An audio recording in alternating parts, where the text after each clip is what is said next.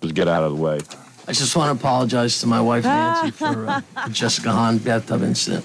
It's stupid, and I'll never do anything like that again. And I love you, and I'm very sorry and very sincere. And don't please don't make a, a mockery of this.